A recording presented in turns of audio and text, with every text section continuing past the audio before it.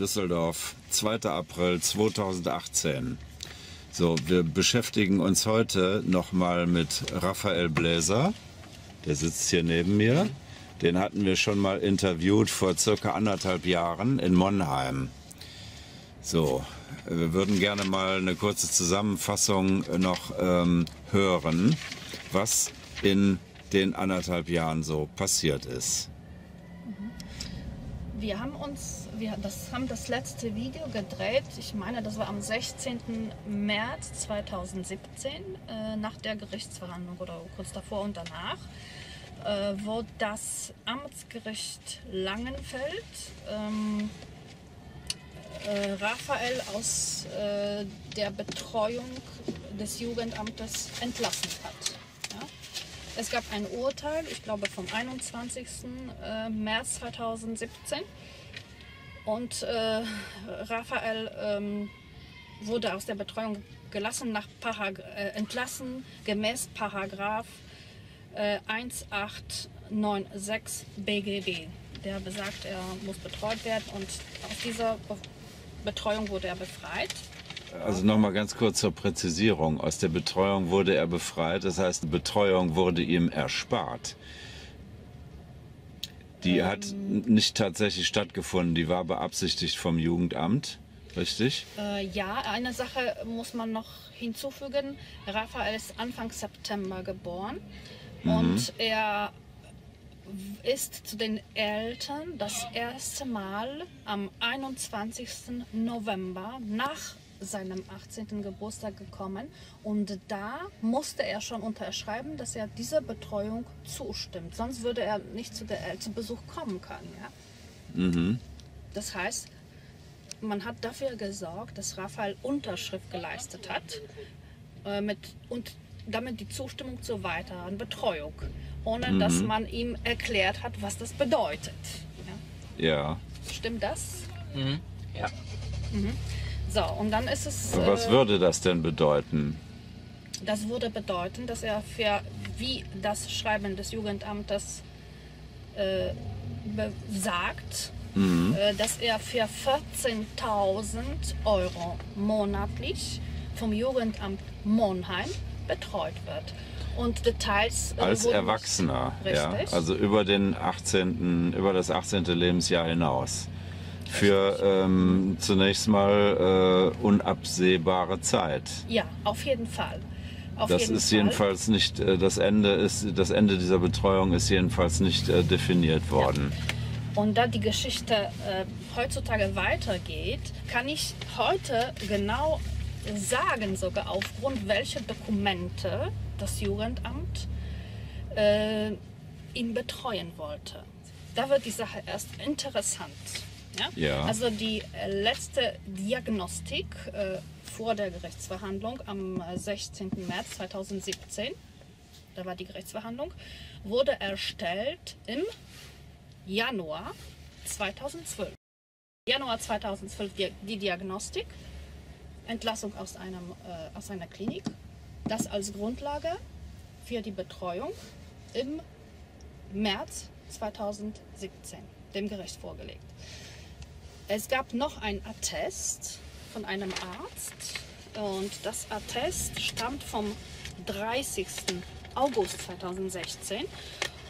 Es ist aber ein Attest, äh, wo der Arzt schreibt, er hat äh, Raphael am, im Januar 2016 gesehen. Ja? Er mhm. hat im Januar Raphael gesehen und im August, Ende August, stellt er das Attest aus. Und er weist in diesem Attest darauf hin, dass er, dass er Raphael angetroffen hat, damals in Frankreich war das. Raphael hat Anfang September Geburtstag. Das Attest hat Datum 30. August 2016 ja, mhm. und beschreibt Zustand aus Januar 2016 aus Frankreich. Und da schreibt der Arzt, der Vormund erinnert den Arzt. Und dann äh, schreibt der Arzt noch, was der Vormund da so erzählt und so, dass, dass Raphael so diese Ausbrüche, aggressive Ausbrüche hat und dass die Betreuer in Frankreich sagen, er hat diese, diese unkontrollierte Ausbrüche und so weiter. Und das heißt das, also, äh, der Arzt hat das nicht selbst festgestellt. Das schreibt der Arzt, ja. Die, meine Frage an Raphael, hat dich der Arzt im Januar 2016 in Frankreich untersucht? Hm, untersucht nicht. Also er war kurz da, aber äh, hat mich nicht untersucht. Danke. das Hat er mit dir geredet? Äh, Ob es mir gut geht, ja, das habe ich gesagt, aber im Moment, also Er hat gefragt, wie geht's dir? Und du hast gesagt, mir geht es im Moment gut. Und das war's. Und danach ging er eigentlich auch wieder runter. Okay. Also das waren Ja. die beiden ärztlichen Dokumente, aufgrund dessen äh, das Jugendamt dann äh, für die Betreuung. so, was ist jetzt nochmal das, was ist denn die, das, das Fazit dieses ähm, Attestes oder die, dieser Untersuchung, das Ergebnis? Das Fazit ist, er hat Raphael äh, gesehen vor sieben Monaten. Der Vormund sagte, äh, die Betreuer von Raphael äh, sagen, dass er immer noch die unkontrollierten äh, aggressiven Ausbrüche hatte. Und äh, der Arzt kennt Raphael seit 2011 und äh, deswegen ist er der Meinung, dass Raphael betreut werden muss und zwar für längere Zeit. sagt der Arzt. Ja. Gut. Also wie seriös auf Seiten des Jugendamtes gearbeitet wird, das äh, kristallisiert sich immer mehr äh, heraus. Kannst du, Raphael, uns noch kurz sagen, wie die Betreuung des Jugendamtes war? Weil die wollten dich weiter betreuen, ja?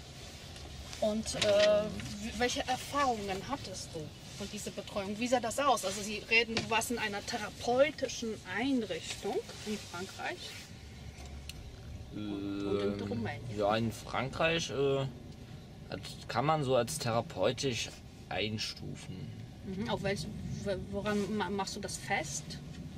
Äh, ja, also das Einzige, was ich, also ich habe zwar keine Schule gemacht, aber das Einzige, was ich da äh, Sinnvolles beigebracht gekriegt habe, dass ich nicht mehr äh, alles esse, was äh, an Pflanzen, nicht mehr alles esse. Also so Ja. wie giftige Pflanzen, dass ich mich halt selbst vergifte zum Beispiel. Ist, ist sowas denn mal passiert? Ja, mit dem Satanspilzen. Aber das war meine Eigenschuld. Das heißt, Naja, irgendwo fehlte da ein bisschen die Aufsicht, vermute ich mal. Ähm, eigentlich nicht. Äh, das Problem war halt, ähm, ich habe den mit dem Steinpilz verwechselt, aber ja. Das war ein dämlicher. Wie alt warst du da ungefähr? Ich glaub, da war ich 14 oder 15. Also als 14-, 15-Jähriger lässt man dich draußen Pilze sammeln Mhm. und dir Wieso- erlaubt, wieso- die auch wieso- zu essen. Ja, wieso äh, alleine? Der Peter war doch bei mir. Ansonsten, äh, Also, äh, ansonsten wäre ich wahrscheinlich äh, nicht sehr schnell ins Krankenhaus gekommen. und der hat dich gerettet dann. Ja. also es Obwohl war ein Betreuer dabei, als du diesen giftigen Pilz gesammelt und auch gegessen hast, richtig? Ähm, äh, ja. Der Peter war am Sensen, ich war, hab gesagt, oh Peter, ich hab äh, einen Steinpilz gefunden, äh, ich esse den mal und hab den äh, direkt reingebissen und ja. Und, äh, als er dann gemerkt hat, dass ich den wieder ausgespuckt habe und gesagt hat, dass das äh, gar kein Steinpilz war, dann hat er si- sich den angeguckt und hat gesagt, ui, ein Satanspilz. mhm. Und so schnell wie der äh, einen, ähm, eine Kanüle da zusammengebastelt hat, dass er mir irgendwie ähm, oder irgendwas, äh, er hat mir auf jeden Fall was gespritzt, das entgegengiftend ist. Also der Peter hat immer was auf Tasche gehabt. Das heißt, der Betreuer war auf äh, solche Vergiftungsvorfälle ähm, irgendwie vorbereitet Also oder ausgestattet. ähm, ist ja mit ihm selbst auch schon mal passiert. ja, das heißt, äh, das heißt, du hast also quasi in der Obhut des Jugendamtes in der Wildnis gelebt und hast dich auch aus der Wildnis ernährt. Äh, nicht. Äh, doch, wir haben äh, einen Garten äh, hatten wir angelegt und Ziegen hatten wir halt alles. Mhm, mhm. Gab es überhaupt eine Schule in der Nähe oder hat man dir vorgeschlagen, in die Schule zu gehen oder Unterricht zu machen? Äh, die haben äh, vorgeschlagen, aber dann hat das Jugendamt gesagt, also der Peter hat mir vorgeschlagen, es gibt eine Schule unten in Massat, aber dann hat er, äh, mein Jugendamt natürlich gesagt, nee, das äh, wäre zu kostenaufwendig, weil er dann nur für Französisch ist. Er muss auch wenn dann auf eine Spezialschule. Die, die wäre, also die nächste wäre in äh, Toulouse gewesen. Und das wäre zu teuer gewesen. Ähm, die Fahrt und alles drum und dran, äh, so wie die sagten. Weil ähm, Toulouse wäre, sagen wir mal, äh, ich glaube 150 oder 250 Kilometer entfernt. Das heißt also, man fand eine Schulausbildung für dich zu teuer. Ja, also äh, diese Perversion muss man sich mal auf der Zunge zergehen lassen. Da wird ein deutscher äh, Jugendlicher nach Frankreich äh, geschickt in die Pyrenäen und äh, man verzichtet darauf, dir äh, eine Schulausbildung zukommen zu lassen. Und jetzt bist du äh, fast 20 Jahre alt und kannst nicht schreiben. Ja, das muss jetzt alles nachgeholt werden und äh, wie das abläuft, das wissen wir noch nicht, aber auf jeden Fall vermute ich auf Kosten der Steuerzahler. Ja, äh, du hast, äh, du sagst, du hast da Pflanzen äh, kennengelernt, verschiedene Pflanzen, äh, was für Eigenschaften die haben, wie die heißen und wofür man die verwenden kann. Was hast du da auch noch gelernt? Also was hast du da den ganzen Tag gemacht, außer das, was du über Pflanzen gelernt hast? Im Alter von Im Alter von? 14 bis 16. 14 bis 16, ja, wo äh, eigentlich Schulunterricht angesagt wäre. Äh, Ich habe äh, Ziegen gehütet, teilweise auch bis in die Nacht, weil die Ziegen ähm, ein bisschen zu wenig gefressen hatten. Äh, ich habe Transporte gemacht, Was heißt das Transporter? ähm, teils mit dem Pferd, teils äh, mit meinem Rucksack. Also so wie äh, 30 Kilo Futtersäcke halt. Das heißt, du musstest in deinen Rucksack äh, 30 Kilo Futtersack nehmen und den zu den Ziegen oder Tieren oder Äh, bringen? hochbringen einfach nur. hochbringen. Aha. Und mit dem Pferd? Äh, mit einem Pferd haben wir äh, Bretter transportiert. Halt, äh, um Sachen halt auszubauen. Äh, ich, wie, kann, wie kann ich mir das vorstellen? Hat der, das Pferd das gezogen? Äh, oder, auf den oder? Schlitten gezogen. Ach so, ach so, ach so. Aha, aha. Ähm, Wurdest du für diese Arbeit irgendwie bezahlt? Zum Teil.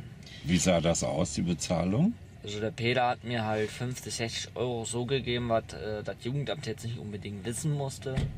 Und ähm, ja, ansonsten habe ich halt äh, Vergünstigungen gekriegt. Halt ab und zu kamen dann halt mal äh, Nachbarn vorbei, wenn ich dann denen ein bisschen geholfen habe, wenn ich dann halt von unten haben dann gesagt, äh, wenn du jetzt mit dem Pferd da was hochziehst, könntest du dann das und das mal mitbringen, weil das von dem Nachbarn da ist. Dann hat der Nachbar mir halt auch irgendwelche Sachen dann halt zugeschenkt. äh, meine, Äh, noch eine Frage. Was wäre gewesen, wenn das Jugendamt von dieser Bezahlung erfahren hätte? Das, was genau äh, passiert ist. Was denn? Hat die mich äh, vom Peter äh, weggenommen haben und gesagt, ich, der wäre nicht gut für mich und nach Fra äh, Rumänien geschleppt haben. Und ähm, muss, was hast du dann in, in Rumänien gemacht? Holzkohle mit Gummistiefeln. du warst schon 16, wo, so, wo sie dich nach Rumänien geschleppt 17. 17. Geworden Dann grad. haben, hast, du, hast du gesagt, du möchtest das nicht oder hast du gesagt, ich will dann nach Rumänien? Nö, ich habe gesagt, ich will da nicht hin, weil äh, habe ich ja nichts da mit den, äh, mit den Rumänern am Hut eigentlich. Und was haben die darauf gesagt? Haben sie darauf gesagt, äh, Frankreich wäre nicht gut für mich. So, also das Jugendamt war anscheinend damit einverstanden, dass du dort arbeitest. Ähm, eigentlich ja, aber die wollten nicht, dass ich das Geld vom Peter annehme. Aha, sie waren aber nicht damit einverstanden, dass du bezahlt wirst für diese Arbeit. Genauso wenig in der Zeit haben die mir auch kein äh, Be äh, Taschengeld, genauso wie Bekleidungsgeld nicht gegeben. Ja, äh, genau die Frage ist, wer das eingesagt hat. Äh, der Peter ganz sicher nicht. Der Meine- Peter hat gar nichts, ge- kaum was Meine gekriegt. Frage ist äh, Taschengeld. Die Kinder bekommen Taschengeld. Kannst du dich noch erinnern, äh, seit wann du Taschengeld überhaupt bekommen hast? Ob du Taschengeld bekommen hast und wie viele waren das? Ich glaube, das einzige Mal, wo ich Taschengeld bekommen habe, das war in Hasenburg. Hm, weißt du noch den Betrag ungefähr und das für Monat, für Woche oder Äh, nicht mehr genau, also ich glaube 40, wenn dann. ja monatlich wahrscheinlich? Ne? Monatlich. Ähm, also Be du musst Bekleidungswagen halt das, äh, ich glaube sogar das Dreifache, ja, 120. ähm, kannst, äh, wurde der Unterschied gemacht äh, zwischen Taschengeld und dem Geld für die Arbeit, du, das, die du geleistet hast. Weil das ist was anderes Taschengeld, was dir sowieso zusteht. Ja? Und das ist dann äh, Geld für die Arbeit, die du geleistet hast. Äh, nur in Frankreich jetzt. Äh, in Frankreich hatte ich ja kein Taschengeld. Äh, deswegen habe ich, ja- äh, der Peter hat mir das halt äh, so ähm, zugesteckt gewissermaßen. Ja, so könnte man sagen. Ja. Ähm, in, in Rumänien, welche Arbeiten musstest du da machen? Ja, nachts über in einem Zelt schlafen, was äh, neben einem Fluss war, der über Nacht auch mal, ähm, wenn es sehr stark regnet, mal überflutet und ich dann im Wasser penne. Was für Arbeiten musstest du da machen? Ähm, äh, die, äh, die Hol Holzkohle, die halt brannte schon, aber nicht äh, richtig brennen durfte. Ich musste halt nur nass machen. Und zwar mitten in der Nacht auch. Das war also die Arbeit eines Köhlers, die du da äh, absolvieren musstest. Das äh, hast du da Rauch eingeatmet? Ähm, ja, sehr viel. Sehr viel. Hattest du Das ist gesundheitsschädlich. Ja, das weißt du. Ja. Hast du dich mal beschwert, dass du diesen Rauch einatmen musst die ganze Zeit? Ähm, ja, öfters beim Jugendamt. Und was haben die dazu gesagt? Nicht sehr viel. Was Also, haben sie ähm, gesagt? Die haben gesagt, dass ich das machen muss, halt. Ja. Kannst du dich noch an den Namen erinnern, äh, wer das gesagt hat? Oder an die Person, wer das gesagt hat? Ähm, auf jeden Fall nicht äh, mein Vormund, äh, sondern die vom Jugendamt, die Welches Jugendamt ist das? Monheim. Monheim. Hattest du entsprechende Schutzkleidung bei der Arbeit gehabt, bei, äh, in Rumänien bei Holz? ja, Was hattest du angehabt? Das hatte ich äh, jetzt gerade auch an, also bis auf den Pullover. Mhm. Was für Und die Schuhe? Schuhe. Ähm, Schuhe? Gummistiefel. Hast du dabei heiße Füße gekriegt? Mm, ab und zu, wenn ich äh, zu nah ans ähm, Mittelstück gegangen bin. Wie lange hat das gedauert, diese äh, Arbeit als Köhler? Also Herstellung Die von ganze Zeit Holzkohle. als Schafer. Ja, wie lange ungefähr? Ein Jahr? Äh, ich weiß ich glaube, ich bin mit 17 hin, 18.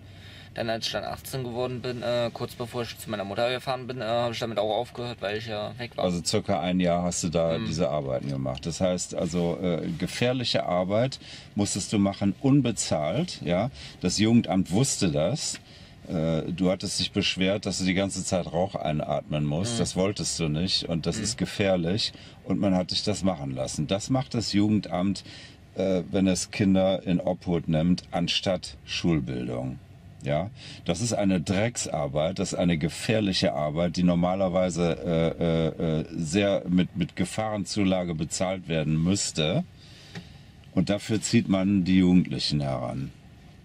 Ja, Ähm, das Schlimmste aber äh, war jetzt nicht das Kohlenmonoxid, was durch den Rauch entstanden ist, sondern äh, wir haben ja zum Teil auch noch äh, grüne ähm, Bäume äh, und die äh, Bäume waren, ich weiß es nicht, ähm, äh, Schwarzerle und noch eine andere, ähm, die wegen ähm, die Farbe, die die Blätter halt äh, produzieren, wenn man die äh, Chlorophyll. Mhm. Das äh, wird dann durch das Verbrennen äh, äh, entstehen noch andere gefährliche Gase. Ja, äh, dabei ent, entstehen äh, wahrscheinlich hunderte von krebserregenden Substanzen. Ja, äh, also eine äh, hohe äh, Gift- und Feinstaubbelastung. Und das musstest du ein Jahr lang praktisch täglich da über dich ergehen lassen. Ja. ja.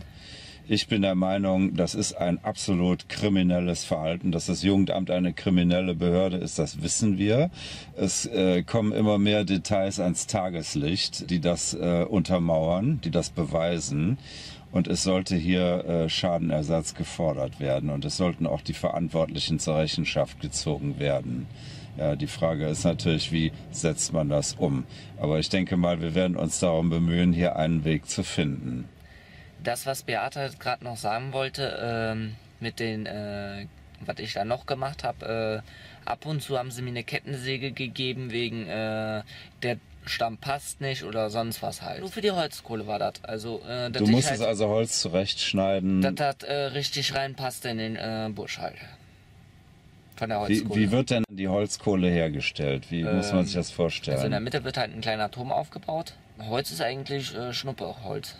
Also jegliches Holz, was im, im Wald Mhm. anfällt, das wird aufgeschichtet. Äh, dann in der Mitte haben wir dann äh, noch so Reststücke, die werden da rein, die nicht äh, zum Teil verbrannt sind, die werden dann halt zum Anzünden benutzt. Mhm. Dann werden das äh, fünf Schichten müssen da bis oben hin drauf kommen. Ja. Äh, dann wird ein kleiner Tunnel gelassen zum Anzünden am Ende. Dann kommt dann, äh, bevor wir es anzünden, kommt äh, Stroh, dann Erde und dann noch ähm, Asche zum Teil. Dass da keine Luft durchkommt, dann wird es kurz nass gemacht und dann wird es angezündet. Ja. Ähm, wer, hat, wer hat dich eigentlich darin unterwiesen? Wer hat dich unterrichtet, wie das gemacht wird?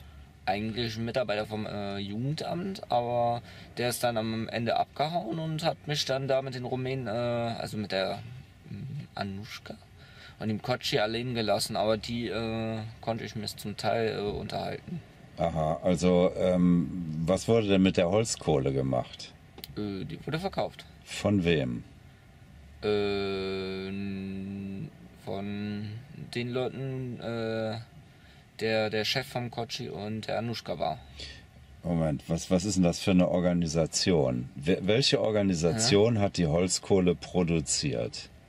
Äh, weiß ich nicht. Bauernhof? War das irgendwie eine Firma oder war das, das ein... war eine Firma, aber die hatten da eigentlich nichts mit dem Jugendamt zu tun. Die Anushka und der Kotschi waren halt äh, so Freunde von denen da. Von dem äh, Ensemble, wo ich äh, da in Rumänien untergebracht wurde. Ensemble mit dem Sitz in Neuss, Marienkirchplatz in Neuss.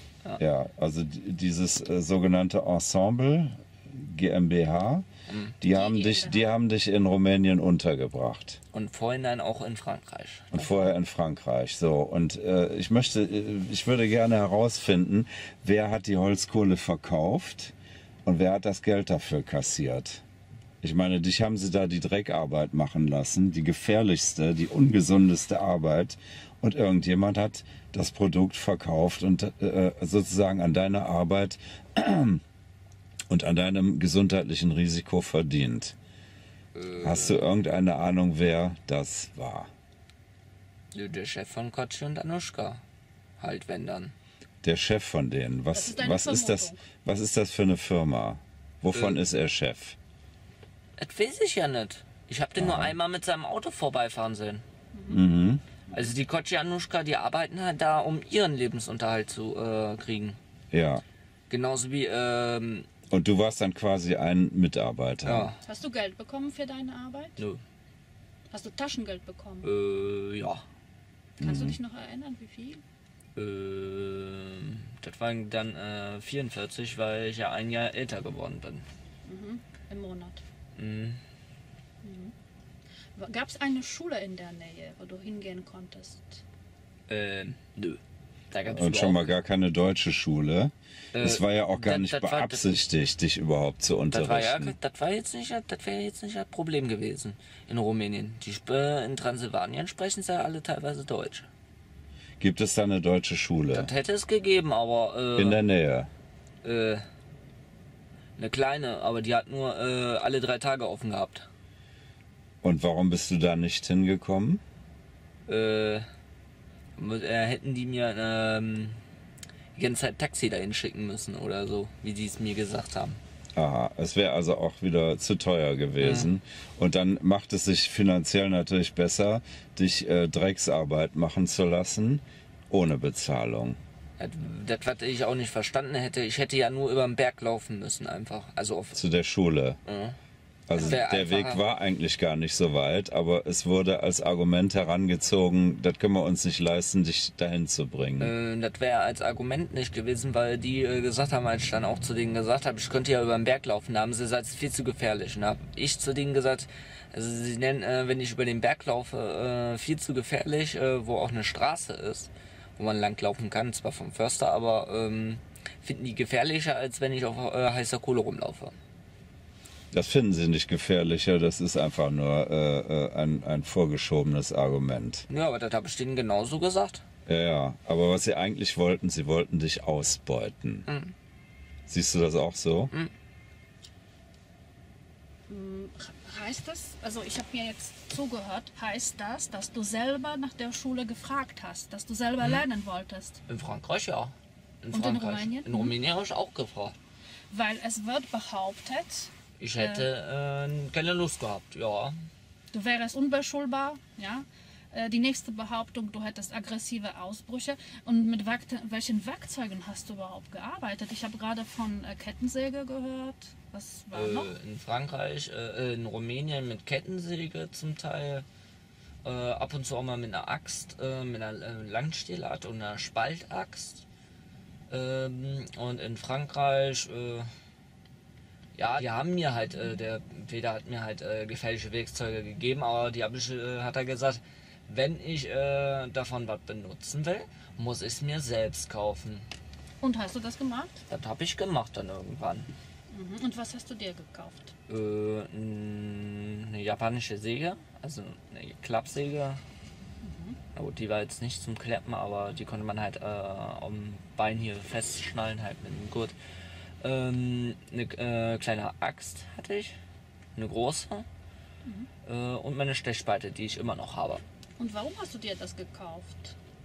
Weil ich äh, eine Sache, da hat mich das Jugendamt nicht von abhalten können. Ich wollte äh, meine Skulpturen weitermachen. Das heißt, du hast eine, du würdest gerne was, eine Ausbildung machen. In welche Richtung?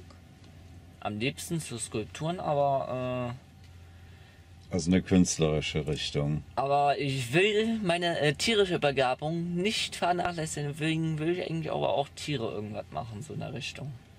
Die eine Sache kann Ausbildung sein, die andere Hobby. Na, wenn dann, äh, dat, äh, meine Skulpturen, wenn dann als Hobby und äh, Tiere als Arbeit, wenn dann. Ja, es ist natürlich, ähm, deine Heimat ist hier in der Nähe von Düsseldorf und äh, da muss also erstmal was gefunden werden. Im Grunde genommen hat man dich völlig am Bedarf vorbei aufwachsen lassen und lernen lassen, nämlich in der Wildnis, in den Pyrenäen oder äh, in, in einem Gebiet in Rumänien, wo Holzkohle hergestellt wird. Du warst also immer in der Natur draußen und äh, hast natürlich heute hast also nicht äh, lesen und schreiben gelernt. Das ist dir nicht beigebracht worden. Wobei das Lesen hast du dir mittlerweile selbst beigebracht und mathematische Kenntnisse. Rechnen tue ich normalerweise äh, so aus dem Kopf halt. Also ja gut, aber du halt. schreibst, aber, aber du schreibst umgehen. ja nicht. Mit dem Computer kann ich sogar sehr gut umgehen. Ja. Und das hast du dir selber beigebracht. Hm, zum Teil ich, zum Teil mein, äh, mein Bruder. Ja. Und du kannst aber schreiben. Ich bekomme von dir Nachrichten und die sind geschrieben. Das, Ah. das schreibst du selber. Ne? Ab und zu schreibe ich es, ab und zu, äh, wenn es äh, längere Texte sind, äh, äh, mache ich mein ähm, Mikrofon halt an.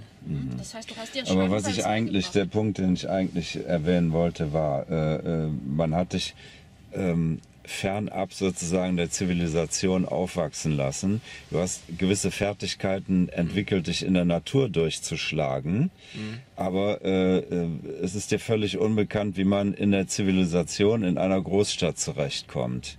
Ja, also es fängt damit an, äh, vieles hast du jetzt auch durch uns gelernt, also ein Bankkonto eröffnen, Behördengänge und, äh, äh, und so weiter, auch äh, Unterkunft in Jugendherberge, also Zimmer bestellen und so weiter, all diese Dinge. Ähm, das nächste wäre jetzt Wohnungssuche, äh, ist aber schwierig, weil ähm, eben gewisse Voraussetzungen fehlen. Du kannst äh, noch nicht schreiben, jedenfalls keine Handschrift. Es fehlt also äh, an, an den essentiellen Kenntnissen, um in der normalen, in der normalen äh, Gesellschaft in der Stadt zurechtzukommen.